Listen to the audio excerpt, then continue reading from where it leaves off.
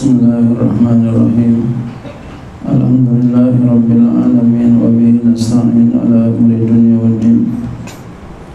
والصلاة والسلام على أشرف الأنبياء والمرسلين سيدنا وحبيبنا وشفينا مولانا محمد وعلى آله وصحبه أجمعين. سبحانك لا علم لنا إلا ما علمتنا إنك أنت العليم الحكيم.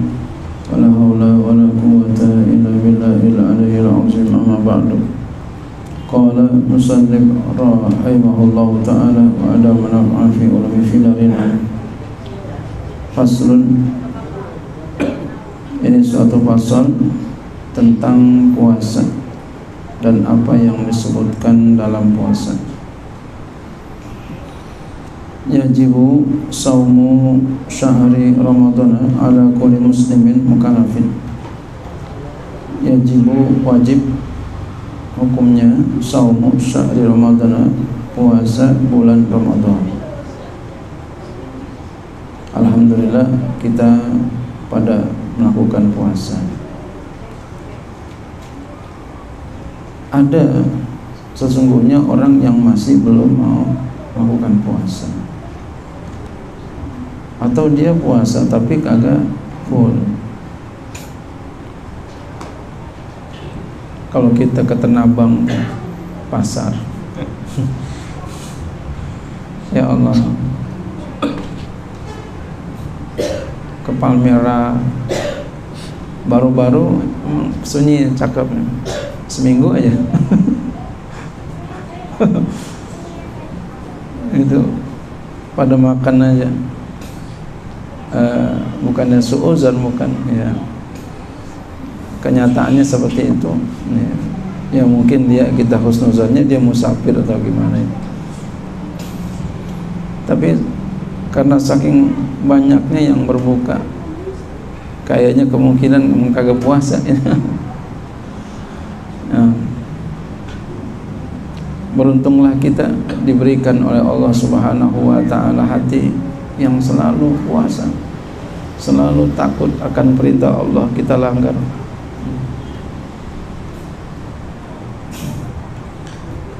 Ya alhamdulillah kita dari masih kecil udah rajin puasa. Ya enggak ada yang kita tinggalin kecuali sakit ini. Nah, kita bersyukur sama Allah tuh, dikasih hati yang demikian. Ya karena tidak semua orang dikasih hati yang demikian penuh takut kepada Allah. Enggak semua orang.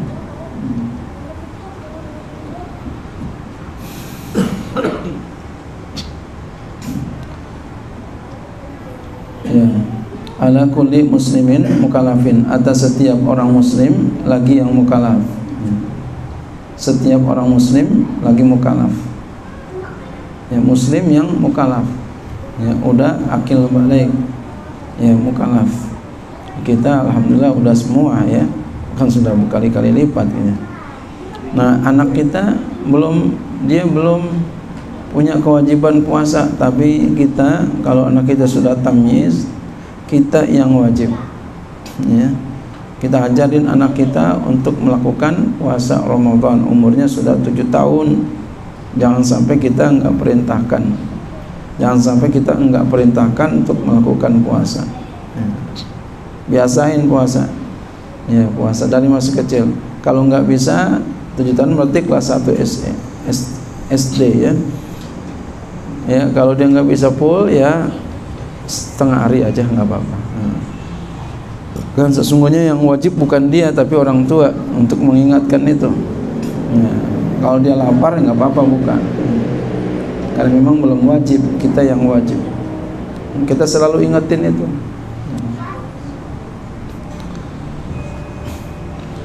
wala yasihu min haidin wa nufasaa. Dan tidak sah daripada orang yang haid dan nifas tidak sah daripada orang yang haid dan nifas ya, enggak sah. Jadi orang haid pengen puasa juga enggak sah.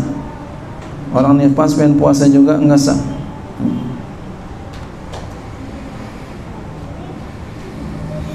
Kenapa begitu? Enggak sah. Ini kadang kita enggak sadar bahwasanya agama melakukan itu adalah kemaslahatan buat kita. Orang kalau haid apa yang terjadi? Keluar darah. Orang kalau keluar darah gimana? Lemes nggak? Lemes. Jadi Islam itu sangat oh bahasa kita nauin banget toleransi kepada keadaan diri kita. Keluar darah juga diwajibkan juga puasa. Gimana rasanya tuh? Lemes banget kesianan perempuan. Jadi Allah Maha baik. Perempuan kalau lagi haid, perempuan kalau lagi nifas enggak puasa. Tidak diwajibkan puasa. Nah, ini namanya agama Islam penuh dengan toleransi. Ya. Agama Islam tasamu dengan keadaan diri kita.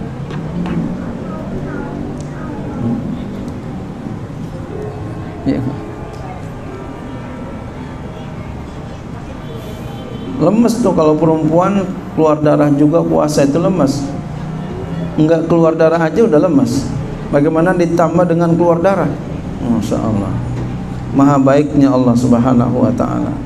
Hmm.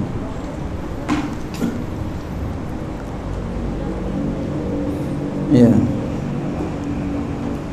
Jadi kalau dia puasa akan berkumpul dua kelemesan. Dua kelemesan ya. Kalau dia puasa akan berkumpul dua kelemesan. Lemas karena puasa lemas karena keluar darah. Ya. jadi oleh karena itu puasa ya tidak diwajibkan oleh orang kepada orang yang haid dan nifas.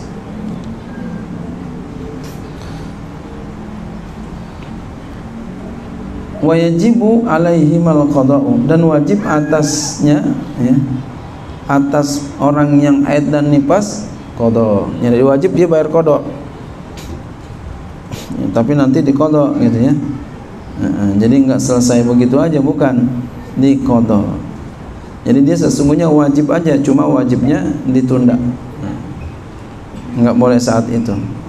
Wajibnya ditunda. Ya, wajibnya ditunda. Nah, sebel, uh, jadi kalau udah selesai udah putus darahnya baru nah. itu namanya dengan amr jadi tuh amr yang baru lagi perintah lagi yang baru yaitu perintah untuk melakukan puasa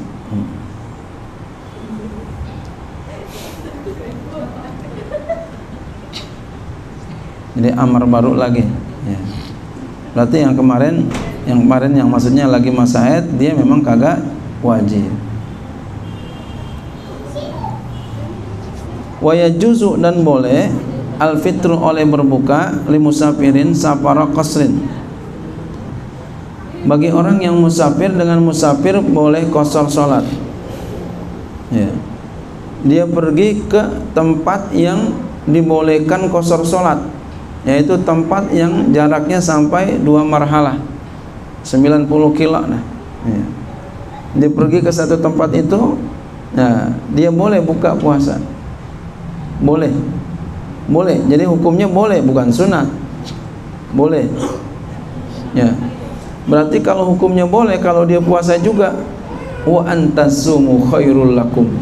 Kamu puasa lebih baik kalau kuat. Kalau nggak kuat nah yang lebih baik adalah buka.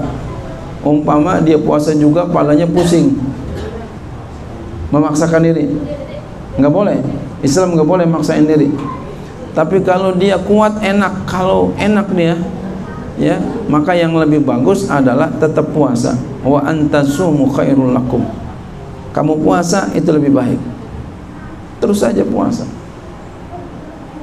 kalau udah biasa tuh walaupun pergi ke mana-kemana itu udah biasa enak aja. La ujub ala fakhra ini sekedar pengalaman sesuai dengan pembahasan. Waktu lagi pergi haji itu saya lagi puasa lagi puasa ya saya lagi puasa itu. Lagi puasa sunat itu Masya Allah. Saya sengaja saya nggak batalin padahal boleh dibatalin. Jadi saya pengen punya pengalaman aja gitu. Masya Allah. Kan kalau di sono kan lamaan sono sini. Jadi ketika kita sampai sono mendarat di King Abdul Aziz tadinya saya nggak sadar. Kirain saya udah maghrib udah mau buka aja saya. Pas turun nah masih siang ya masih jam 2 4 jam lagi. Kata saya apa yang punya pengalaman lah biarin SKS sekali. Kan ke sini ke sini ya belum tentu berulang lagi gitu. Akhirnya saya tetap puasa tuh. Jadi nambahin lagi 4 jam. Rasanya luar biasa.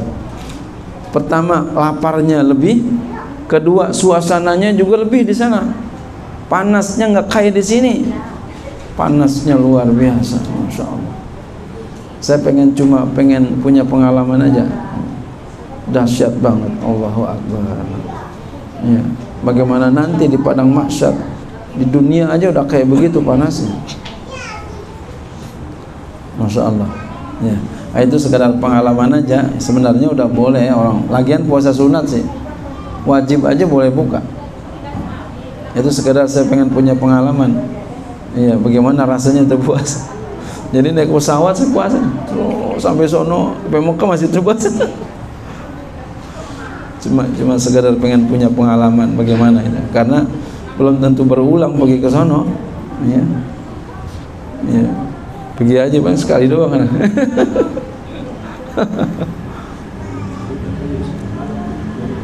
Hah? Iya. Jam 10 malam 4 jam Masya Allah udah begitu panasnya tambah lagi. Kalau di sini mah adem kalau di sana panas. Masya Allah luar biasa. Hmm. Oh, naik mobil dari situ kan dari turun di Abdul Aziz kan kita naik mobil. Naik mobil suasananya juga luar biasa banget Masya Allah hidup pikuk di situ. Ya jadi sekedar saya pengen ngerasain doang uh, bukan sombong bukan ujub cuma ngerasain doang. Dan menurut saya itu bukan kehebatan bukan. Menurut saya itu bukan kehebatan. Ya, salah kenapa? Yang bagus buka. Tapi saya nggak buka. Tadi sekedar pengalaman doang. Pengen ngalamin puasa di tengah keadaan seperti itu menjadi pelajaran. Ya apa? Ingat kepada akhirat. Ya di sini aja panas. Bagaimana nanti di akhirat di sini aja aus bagaimana nanti di akhirat? Maksudnya begitu ya. oh, hemat saya bukan kelebihan bukan. Panas malam itu kelebihan bukan bukan kelebihan. Karena yang bagus adalah kita buka. Sengaja saya begitu biar pengalaman dan juga biar ingat di akhirat nanti.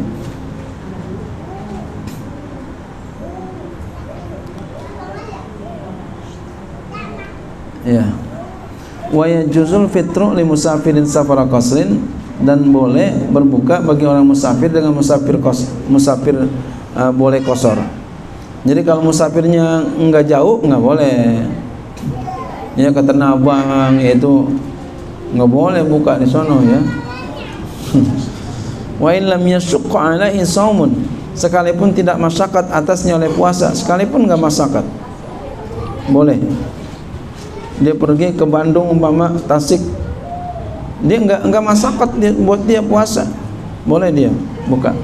Tapi sekali lagi tadi wa antasumu lakum puasa kamu lebih baik. Ya, kalau puasa lebih baik. Kalau puasa lebih baik. Tapi kalau masakotnya lebih baik adalah buka. Seperti tadi saya masakot itu. Sebenarnya saya lebih baik buka makanya saya katakan keadaan saya kemarin tuh yang tuh saya puasa itu bukan kelebihan. Hmm. makanya yang lebih baik adalah buka. Hmm.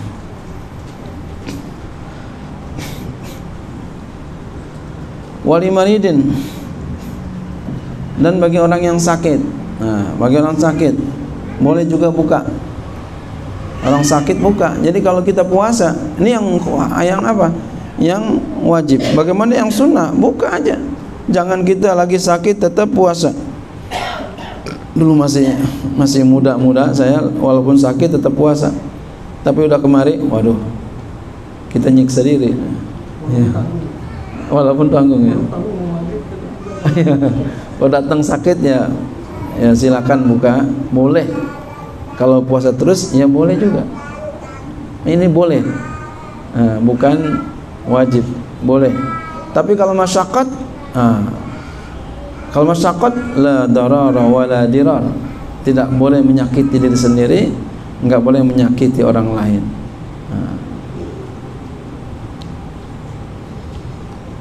Jadi Islam itu sangat memperhatikan uh, kita. Enggak egois biasanya gitu ya. Enggak egois ya. Islam itu enggak egois jadi boleh silakan. Mau buka silakan. Enggak silakan. Tapi kalau sampai menyakiti badan kita nah, yang lebih baik adalah berbuka. Kenapa? Tadi hadisnya la darara wa la dirar. Tidak boleh menyakiti tidak boleh menyakiti orang lain. Nah kalau dia kuat silakan. Yang lebih baik kalau kuat adalah puasa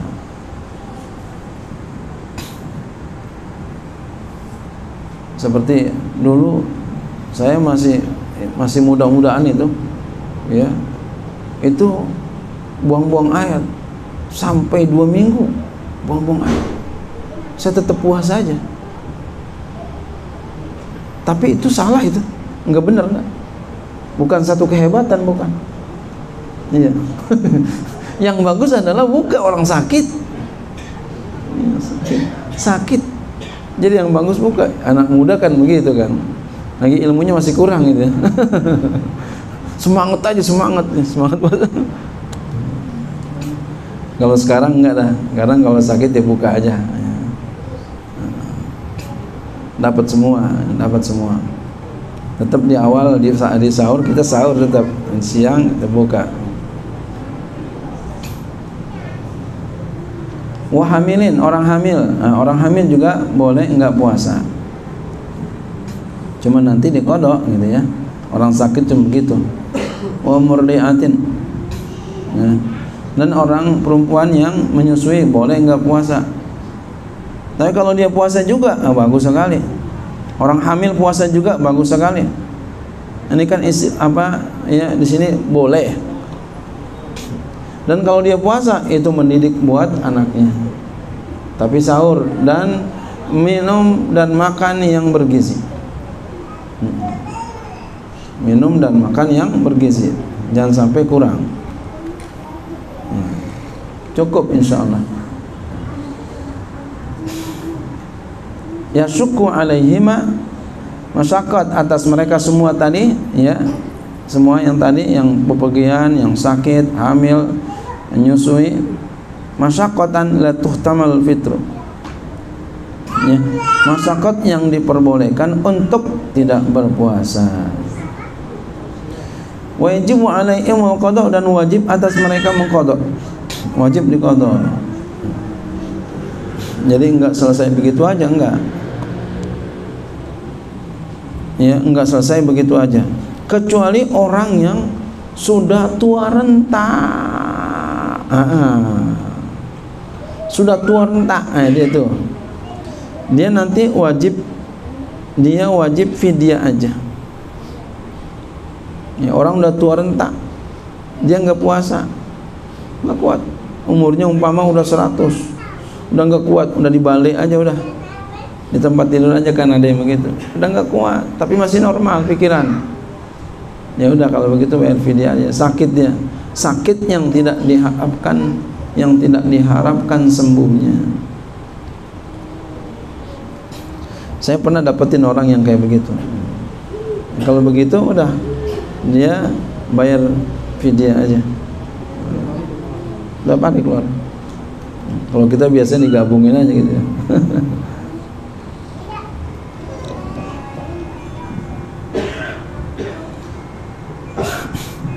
wa yajibu tabitu wa tabi wa ta'in wajib menginapkan niat puasa. Wajib niatnya di waktu malam.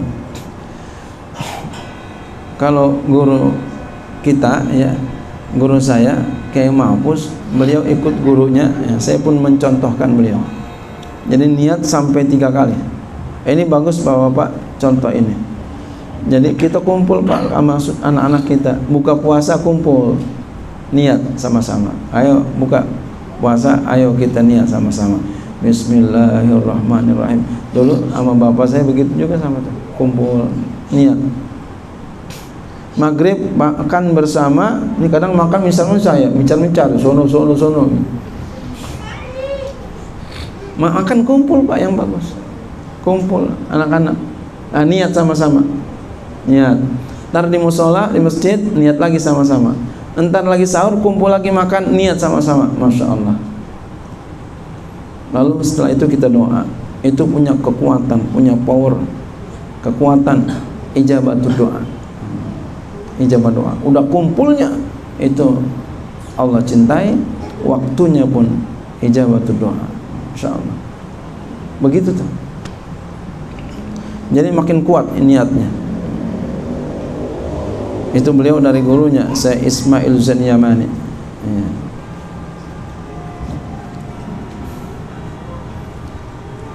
wa ta'yinu fi niyati dan ta'yin pada niat.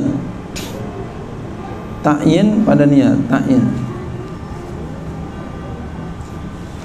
Ya ta'yin pada niat. Jadi ta'yin pada niat maksudnya apa? Sebut Ramadannya. Ya kita udah lancar aja ya.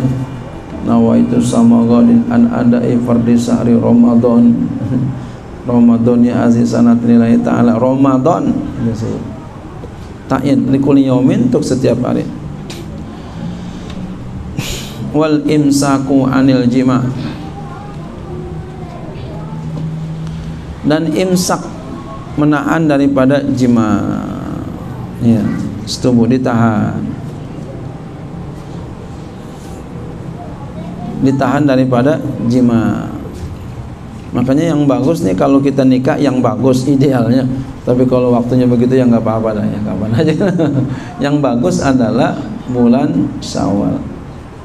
Iya. Tapi kalau emang keadaannya ya nggak apa-apa mau bulan apa aja bagus. Yang bagus ya sawal bulan sawal yang bagus tuh. Bulan sawal hari Jumat di masjid pagi-pagi dihadirin oleh para ulama. Kenapa begitu? Karena ini takut mentok ini kalau bulan bukan sawal apalagi bulannya bulan Rejab bulan Syakban. Ada dekat lagi dah tu dikit lagi Ramadan. Kata orang tua kita lagi nanten-nantenannya itu. Iya. Lagi nanten-nantenannya ketemu Ramadan. Nah. Makanya yang bagus disunatkan kita dalam akad nikah itu bulan Syawal jadi agak jauh Syawal sama Ramadan kan kalau udah lama kan nggak kayak nggak kayak dulu dah ya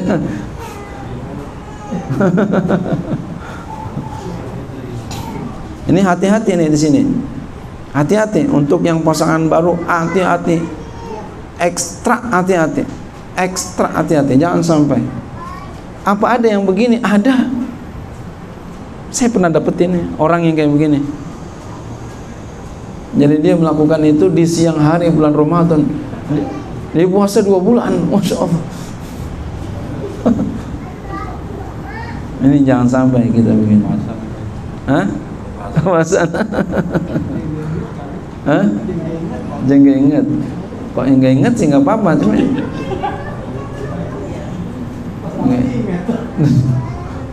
Udah ingat diterusin terus ini.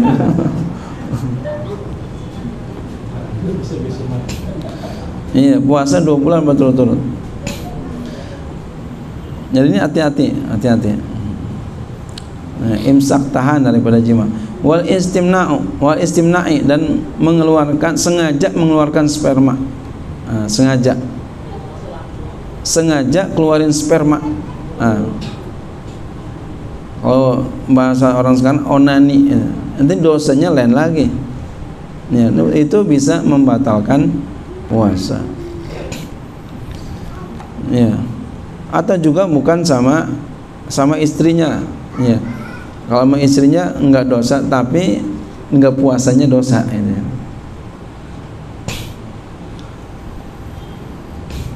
Wal istiqaati dan sengaja muntah.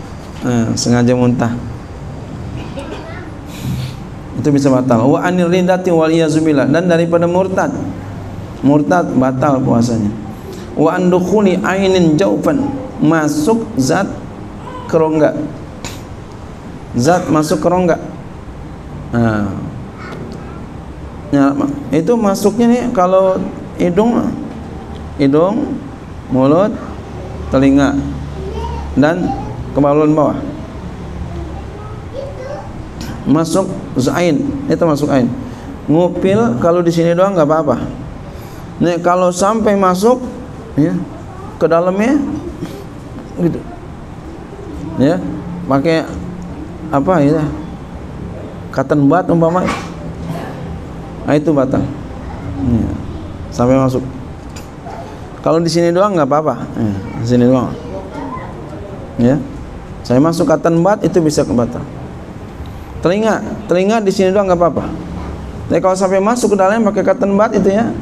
Pakai uh, pembersih telinga batal. Masuk pakai telinga. Pembersih telinga. Kalau di sini doang nggak apa-apa. Ya kalau di sini doang nggak apa-apa. Kalau pakai cotton bud masuk ke dalam batal. Ma membersihkan telinga batal nah ya cebok Nah kalau cebok kalau cebok itu sampai jari jemari kita masuk umpama ke kemaluannya batal. Tapi kalau begini enggak, makanya begini cara ini. Ini. Oh, udah ketawa. Ini umpama nih. Ini kemaluannya. Ini maaf maaf maaf maaf. Ini bukan pernah. Ini ini lubangnya. Pakai ini. Yeah masuk pakai ini. Ini mau tekan apa pun kita tekan apa pun nggak batal tapi kalau udah udah sampai kayak begini masuk kemari nggak batal udah? Ya kalau masuk kemari batal udah? Uh, ini untuk laki nih untuk laki. Ntar perempuan. Perempuan. Kalau perempuan dia uh, tangannya masuk ke dalamnya batal. Ya masuk uh, ke dalam masuk mohon maaf enggak bukan porno ya. Masuknya zakar masuknya zakar eh, batal. Tangannya masuknya zakar batal. Maafin ya maafin. Maafin maafin. Ya ini kemaluan belakang. Ini kan yang suka kemaluan belakang nih lagi cebok kita. Nah, lagi cebok itu jangan sampai kita pakai yang pakai kiri. Jangan sampai ini masuk. Ini kan ada lubang nih lubang nih masuk kemari batal. Nah jadi jangan sampai jari kita masuk. Jadi pakai tengah aja jarinya pakai tengah. Gini nih. Nah bapak ibu gini giniin bapak ibu tangan gini sekeras apa pun nggak batal. Sekeras apa pun nggak batal. Sampai masuk lubang kemari ah batal udah. Nah paham ya ini banyak terjadi. Iya. pengen bersih banget tuh batang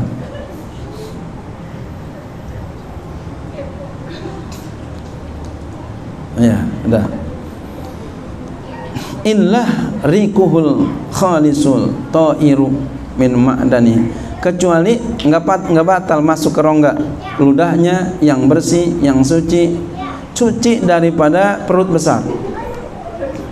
Nah, suci dari perut besar. Jadi kalau ada kotoran yang naik dari perut besar ah ini bisa batal. Ya naik dari perut besar bisa batal. Atau ada darah di sini di isit kita kita telan batal. Ini kan ada kita suka muntah gitu sedikit ya. Nah, itu namanya dari perut besar dari perut. Kita telan batal buang. Buang. Kumur-kumur buang. Buang kumur-kumur buang kumur-kumur. Hmm. wa alla yajunna walau dan tidak boleh dia gila. Ya siapa juga nggak mau gila. Ini umpama gitu ya walau lazatan sekalipun sebentar gilanya sebentar. Emang ada orang gila sebentar? Ada pak. Ada gila sebentar. Ini bukan gila duit lain lagi ya. Gila duit gila pangkat lain lagi itu mah. Gila perempuan lain lagi ya. Ya itu namanya gila juga tuh orang ada begitu ya. Gila duit gila perempuan. Gila gila laki banyak macam tuh. Gila jabatan. Kenapa dikatakan gila? Ah gila itu artinya ketutup. Junna ketutup jadi dia berbuat liar berbuat liar. Ketutup. Siapa yang tutup? Allah subhanahu wa ta'ala.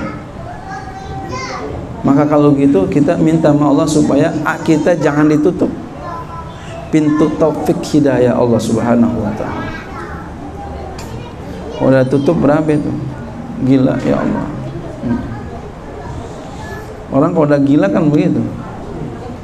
Ya gila perempuan jalan dibilang gak ngerti lah nggak pulang-pulang.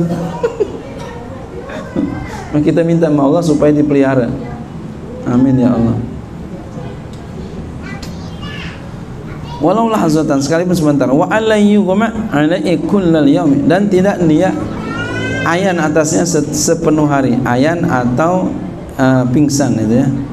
Sepenuh hari. Kalau sebentar doang nggak apa-apa wala yasi'u saumul aidain dan tidak sah puasa uh, Idul Fitri, Idul Adha enggak boleh.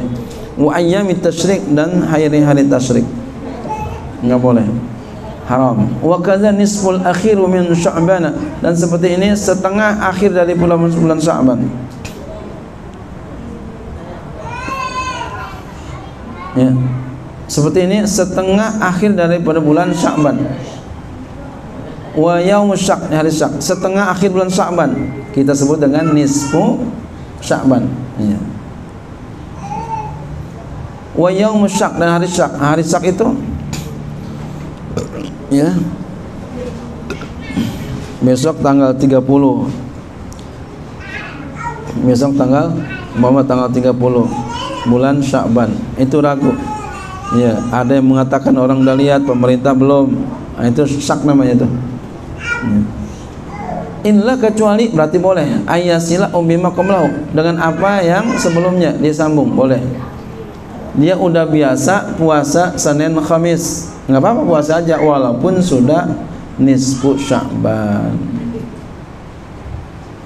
Auli kodoin atau untuk kodok, nah, dia kodok nggak apa-apa bahkan wajib au nazrin atau nazar nggak apa-apa dia udah nazar puasa puasa aja walaupun sudah nisfu sya'ban au wirdin atau wirid dia udah wirid tuh puasa ya puasa sunat atau wirid dan dia ya tetap puasa aja walaupun sudah nisfu sya'ban Waman absada sawma yawmin min Ramadan. Siapa yang merusak puasa satu hari daripada bulan Ramadan?